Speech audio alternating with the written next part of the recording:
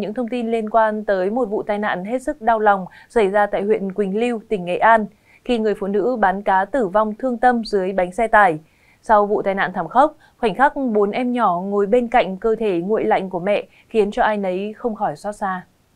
Cơ quan Cảnh sát điều tra Công an huyện Quỳnh Lưu, Nghệ An đang tiếp tục phối hợp với cơ quan chức năng điều tra vụ tai nạn giao thông trên quốc lộ 1A khiến chị Đậu Thị Thủy 38 tuổi, chú thôn Tân Thành, xã Quỳnh Lập, thị xã Hoàng Mai, Nghệ An thiệt mạng.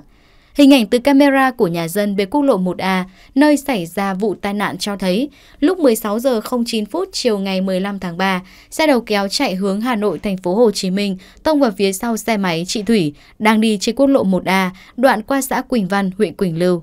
Được biết hoàn cảnh gia đình của chị Thủy vô cùng khó khăn, chồng chị Thủy là ngư dân bị mất trên biển cách đây 8 năm khi đi biển. Thời gian qua, chị Thủy Tân Tảo nuôi bốn con nhỏ ăn học và cha mẹ chồng năm nay 70 tuổi. Trên đường đi bán cá, chị Thủy đi xe đến chợ ở Quỳnh Lưu thì bất ngờ xảy ra vụ tai nạn đau lòng trên. Cú va chạm mạnh đã đẩy xe máy chở cá khô của chị Thủy lao về phía trước và cả người lẫn xe máy va trúng xe bán tải đang đỗ bên đường. Cú va chạm mạnh khiến chị Thủy không qua khỏi. Hay tin mẹ mất, bốn con nhỏ của chị từ trường học lập tức chạy ra ngồi gào khóc cạnh thi thể nguội lạnh của mẹ. Hiện tại đau lòng nhất là bốn con còn nhỏ của chị giờ mồ côi cả cha lẫn mẹ. Nhận được thông tin lãnh đạo Ủy ban nhân dân xã Quỳnh Lập kịp thời đến thăm viếng, trao hỗ trợ ban đầu, động viên gia đình chị Thủy. Chính quyền địa phương, người dân và cộng đồng mạng xã hội đang kêu gọi quyên góp hỗ trợ cho bốn con của chị Thủy.